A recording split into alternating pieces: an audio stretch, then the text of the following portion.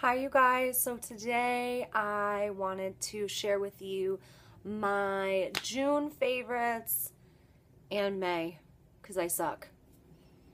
I, I got nothing. But I want to share with you my June favorites and May with you guys and just kind of show you what I have been loving this month and a little bit of last month. Um, I have a couple of old products that I wanted to talk about. These are kind of like the oldie but goodie products there's been a couple that I've been using that I have really been enjoying and it's funny because when you buy new products like you use them all the time and then something new comes along and you kind of like neglect the old ones. So I always try to you know take the old ones back out and use them because I love them at some point and so I kind of take them back out again. So the two that I have, I have two oldie but goodies. The first one is the MAC Mineralized Skin Finish in Global Glow. This one is dirty and almost empty, but it's just like a like bronzy kind of color. I really like this one for summer because it's like a little bit darker, but it's still got a glow on it. So it's nice for summer because it gives you that kind of like bronzy, sun-kissed look. So I love to use this in the summertime. It's pretty empty, so when it gets um, completely empty, I will probably be buying another one of these because I just, I really like this in the summertime. It's just so glowy and bronzy and I really like this one. So that's one of my oldies but goodies. And then I have one more. The other one is the Lorac Pro 2 palette. You guys, this product, I like, you're gonna die. Everything is pan in this product. Like, do you see this? Everything's pan. There's like all these colors I've just hit pan on like crazy.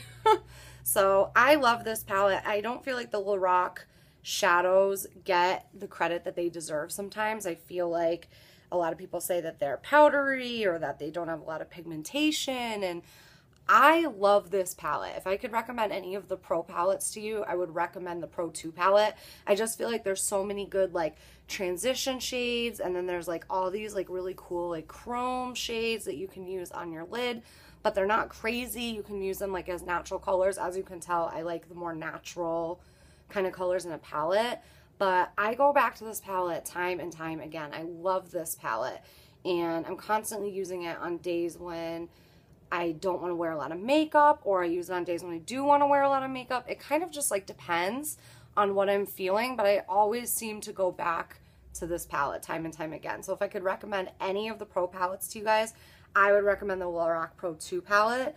I know that they just came out with the Lorac Pro 3 palette, so I um, might check that one out. I'm a little, I'm still very curious about that palette, um, but if I do get it, I will keep you guys posted, but definitely the Lorac Pro 2. I love this palette. So those are the old products that I have. Everything else I have is newer products. So um, in no particular order, I guess.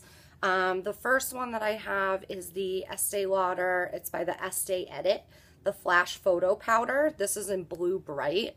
Um, when they came out with the Estee Edit, there was a lot of these like products that I was just really interested in. And this is like a blue, it like there's nothing that I can do to make it better, but it's just a blue powder. Um, it's like a translucent powder and I wanted to use this because it said that it was like brightening for under your eyes. And I wanted a powder that I could use under my eyes to kind of set my concealer that would make it a li- my eyes a little bit brighter underneath. And so I feel like this powder has done that for me. And I do use it sometimes all over my face just to set my makeup. And I find that it doesn't make my face like super, super bright or anything crazy. It just kind of sets the makeup and gives it a nice kind of like bright finish to it. Um, I don't always want to use this one to set my whole face, but I really like this for underneath my eyes. I think it's perfect for making your under eyes nice and bright and kind of bringing life back to your under eyes and still being able to kind of set this concealer, do what it's supposed to do. So, and then onto blush, I have the NYX um, Illuminator Baked Blush. And this one is in the color 06 Wanderlust. It's like a orangey type of color. I really just, I like this for summer. I feel like it's so like summery and It doesn't have a ton of like payoff to it, but it's just like that. It's just like a orangey color. I kind of like to use it sometimes as a blush topper or on days where I don't want to wear a ton of makeup. I'll put it on over, um, just like to dust it on my cheeks, maybe between my highlight and my bronzer, my contour. But um, I can play it up and I can play it down, and I like that about this. And I can layer it over my other blushes, so that part is kind of cool. But I've really been digging this one lately. I like it. Um, the next one that I'm going to talk about, I'm not going to get too deep into because I want to do a whole video kind of dedicated to this palette. But um, this is the Morphe 35OS palette. Now they have the 35O palette and then they came out with the 35O shimmer and the 35O matte palette. And I got the shimmer palette because I'm a shimmer girl. I love my shimmers. But this palette is just like right up my alley.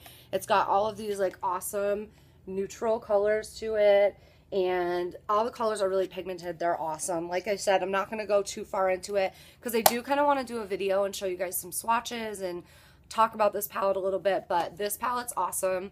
It's definitely worth your money. If it's in stock, you should pick it up. It's just an awesome palette. All right, what else do we have? All right, I have a couple like little, like little tiny things. So um, the first two are lip glosses. I'll try and stay in order here. This one is the Estee Lauder Pure Color Gloss. I talked about this one. It's in Tempting Tea Rose. I got this in the Estee Lauder bag. It's just that rosy like color. I like this because it's kind of like a better, your lips but better color. So I um, like to put this on and I feel like it's really hydrating. It smells good and it's just a color it's a good color you don't need a mirror you just kind of can throw it on and go which i really like that sometimes about lip glosses because i don't always have time to go look in the mirror at my lip gloss or you know kind of like lip line everything out i just sometimes i gotta throw it on and go so i like that about that one and then the other one is what i'm wearing right now this is the kylie cosmetics gloss and this is in the color so cute and this one is just like your nude nude. I'm wearing this right now on my lips. I don't have anything on underneath or over it. And I just really love this gloss. When I first got it, I didn't know if I was really going to like it.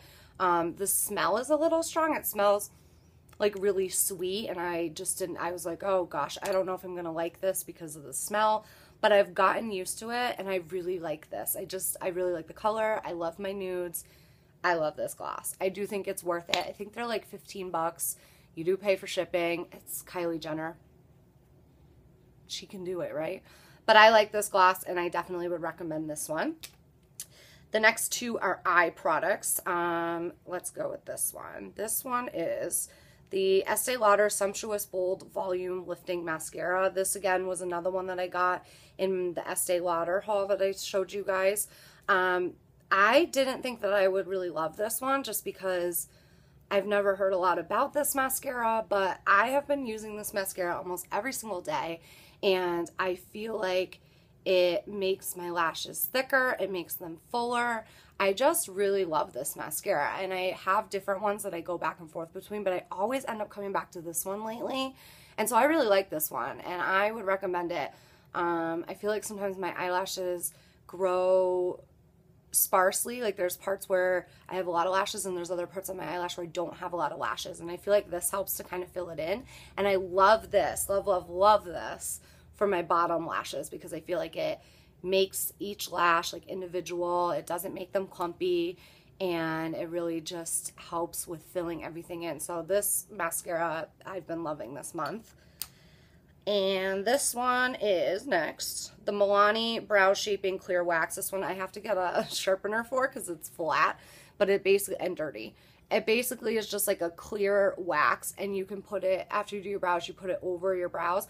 This stuff is like super glue for your eyebrows. Now I still use a clear brow gel over, but I use this after I fill in my brows and then I put the clear brow gel over it. But this stuff just puts your eyebrows in place. If you have those eyebrow hairs that are hard to tame, they never stay in place, they're all over the place. No matter what you put on them, I think you should pick this up because it can def it helps to just keep them right in place. And you can use it on the areas where like the tail where they tend to go up or they go down. Use this because I just think this stuff is so awesome. It is like super glue for your eyebrows. Definitely pick this up. I think it's like four bucks at CVS. it's Milani. Milani never does me wrong. Um, the next one I have is the Maybelline Dream Velvet Soft Matte Hydrating Foundation. Mine's in the color 75 Natural Beige and just comes in a tube like this. Now this is like the whipped foundation, so like I wanted to try this because I wanted like a light foundation for summer. And I started using this like a couple weeks ago and then I stopped using it. I went back to the Makeup Forever stick.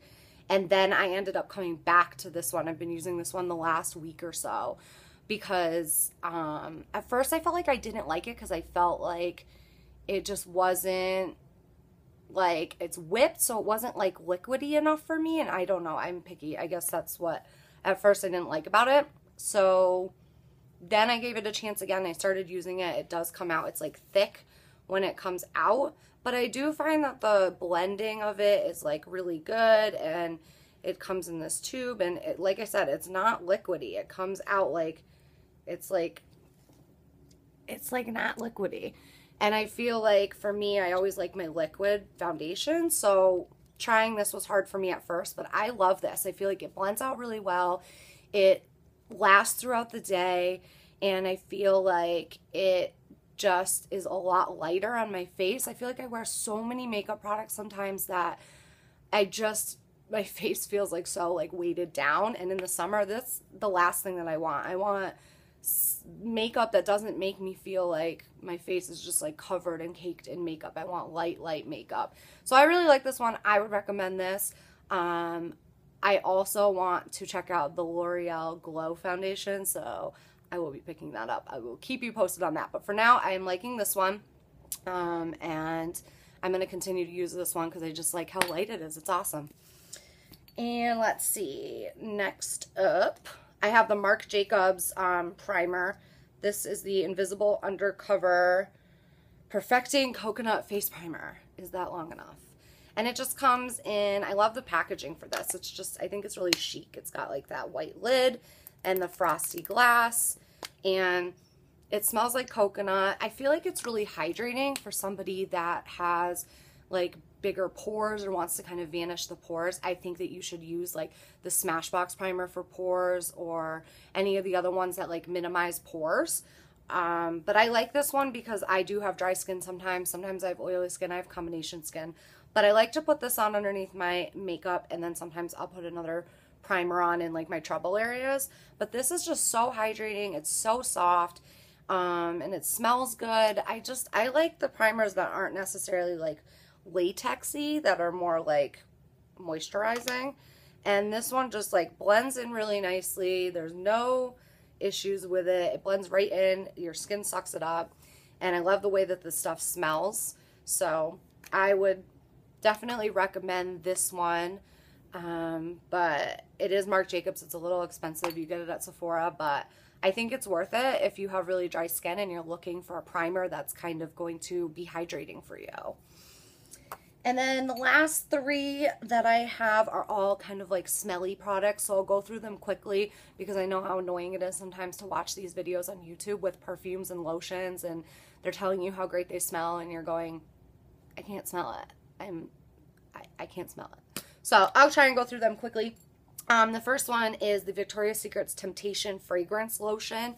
Now, my coworker has this at work. She has it in a little baby bottle, and she uses it all the time. And then I would come over every once in a while and say, do you have any lotion? Can I use your lotion? And this lotion just smells really good. It's very florally.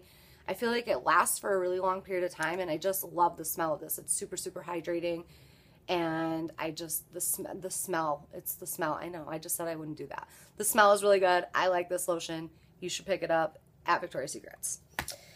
And the last two I have are perfumes. You guys saw these in my Estee Lauder haul. I've been using these like crazy. Don't judge me when they're half empty because they are. Uh, the first one is the Estee Lauder Pleasures Floral. And then the other one is the Estee Lauder Bronze Goddess. Now these are about both half full. I've been using them like crazy. Now not only do I love the smell of these, but I also love the compliments I've been getting on these. So the other day I had on this one and I actually had a guy come up to me and say, are you wearing the Bronze Goddess by Estee Lauder? And yes, yes I am He could smell it. He's like, I love that. I just bought that for my girlfriend. This smells like sunshine. Like, you should wear this if you are working all the time. You never get to go to the beach. Like, this smells like sunshine. I just love it. And then this one I had on, I put this one on before work, like at seven o'clock in the morning. And my best friend at four o'clock in the evening said, You smell so good. What are you wearing? So this lasts all day. And that was the other things that she said too. You know, the Estee Lauder perfumes, they last all day. They smell so good. And I can agree. I love these. These are awesome. This one's definitely really florally, and this one's more of like, it reminds me of like a suntan oil but I just think it smells like sunshine and I like it. And this one is florally, and those are the kind of scents that I tend to go for. So those are all my hits for this month, everything that I've been loving this month. I do have one miss that I didn't really like, but I used the whole thing of it, so obviously I didn't hate it that much. Um, this is, and I'm really sad about this because I really wanted to like this one. I really, really wanted to like this one. And this is the uh, Dior Lip Maximizer Collagen Active lip gloss. It comes like this. It is very, very empty. I used it until the end. I still like it as a gloss, but I feel like it didn't really make my lips very plump. I didn't feel that tingly feeling that usually the lip plumpers have in them. I like that feeling. Um, but I just didn't feel like it made my lips plump. And I used it until the very end because I still liked it as a gloss. But as far as a lip plumper, I definitely, this was not it for me. I've seen videos where people use this and it does make their lips bigger. So I don't know if it's just me or what, but as far as it being Dior, it's like 30 bucks. And so I'm probably not going to rebuy this because I only like it for a gloss. So I might check out the Dior glasses and go from there. That might be a better bet for me. But the lip plumper, it just wasn't working for me. So that is everything for my hits this month for June and a little bit of May. This is what I've been loving. You guys should check them out and leave me a comment down below of what you want to see next. If you have any questions, definitely make sure to comment, hit that like button, and subscribe. And I will see you guys in my next video. All right, have a good day, you guys. Bye.